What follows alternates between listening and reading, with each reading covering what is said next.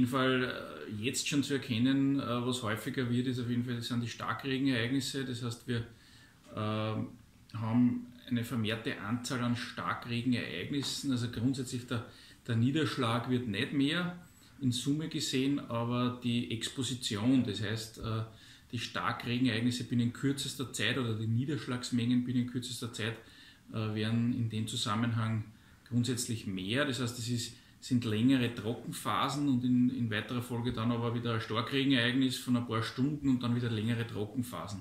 Und das ist die große Herausforderung, äh, in Zukunft, äh, wie geht man mit diesen Starkregenereignissen um. Also das spielt in viele Bereiche hinein, sei es von Einsatzkräften bis zu Baubehörden, äh, Raumplanung. das werden die Herausforderungen der Zukunft grundsätzlich werden.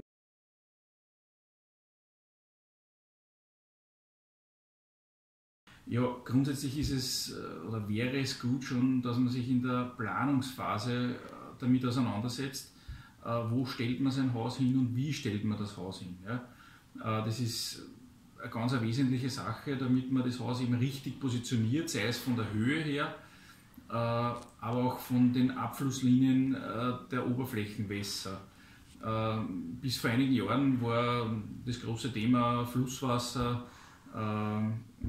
fluviales Wasser generell, was aus den Flüssen kommt, ähm, die letzten zwei Jahre ganz intensiv eben durch den Klimawandel äh, die Starkregenereignisse und da ist ganz wesentlich, wo sind die Abflusslinien, wo kommt das Wasser her, wo rinnt es hin äh, und, und wie kann man sich da, darauf vorbereiten speziell, äh, damit man auch weiß, wie, wie schützt man zum Beispiel einen Kellerabgang, wie schützt man seinen Lichtschacht, zum Beispiel die Kellereintrittsstellen oder die Hauseintrittsstellen, wo das Wasser ins Haus eintreten kann. Und letztendlich sollte man das oder sollte man sich das im Vorfeld äh, anschauen oder sich Gedanken machen, äh, wie kann man sich in diesem Zusammenhang darauf vorbereiten. Ja.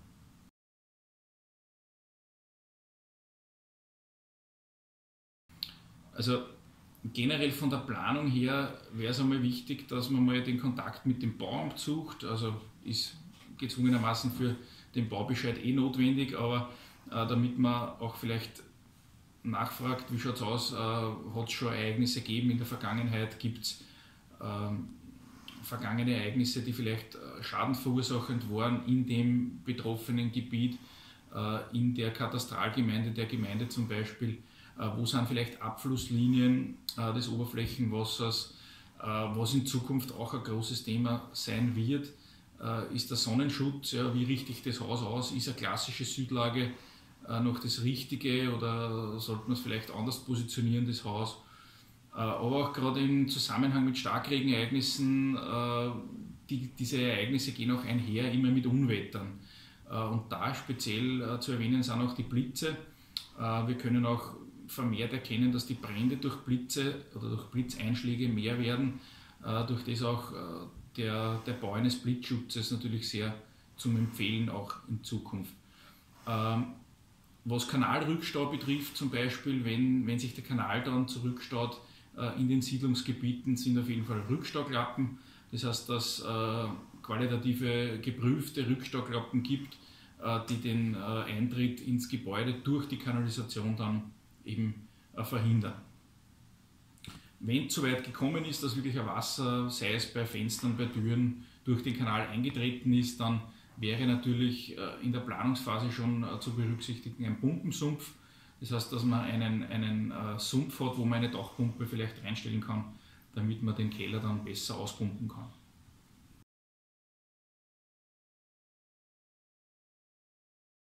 Grundsätzlich kann man sagen, wenn man sich im Vorfeld damit auseinandersetzt oder Gedanken macht, in der Planungsphase schon, dann ist das natürlich auch vom Kostenaufwand her relativ überschaubar. Natürlich kostet der Rückstauklappe ja Geld oder kostet der Pumpensumpfer Geld oder Blitzschutz. Ähm, aber grundsätzlich, wenn man äh, das Gebäude dementsprechend schon plant, äh, dann ist das auch relativ überschaubar von den Kosten und das kann man an dieser Stelle äh, nur unterschreiben. Wichtig schon, dass man sich in der Planungsphase damit auseinandersetzt und überlegt, was habe ich für Gefahren, wo kommt zum Beispiel das Wasser her, wohin hin und wo brauche ich überall Schutzmaßnahmen und das schon äh, in der Bauphase, dann bin ich da auf jeden Fall von den Kosten her sehr überschaubar und, und eigentlich gut unterwegs. Ja. grundsätzlich sind gerade in, in, Zeiten von Internet und neuen Medien äh, sehr viele und umfangreiche Informationen im Internet und im äh, Web äh, erhältlich.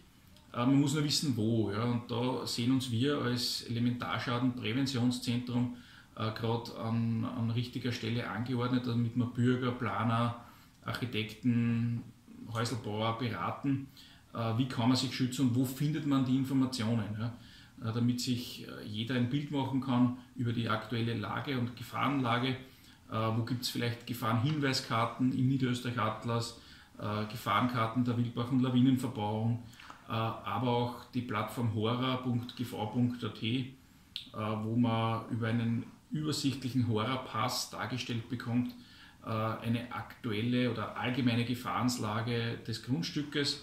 Das heißt, wo man sich ein Bild machen kann, äh, sei es über Schneedruck, Erdbeben, Hangwasser, Flusswasser, äh, Hagelzonierungen zum Beispiel, äh, damit man mal einen gesamten oder einen Gefahrenüberblick hat der gesamten Schadenslage oder Gefahrenlage. Und, und dann kann man natürlich detailliertere Planungen und, und Fragestellungen dann angehen. Da sind wir als Elementarschadenpräventionszentrum natürlich gern für alle, die Informationen brauchen, erreichbar.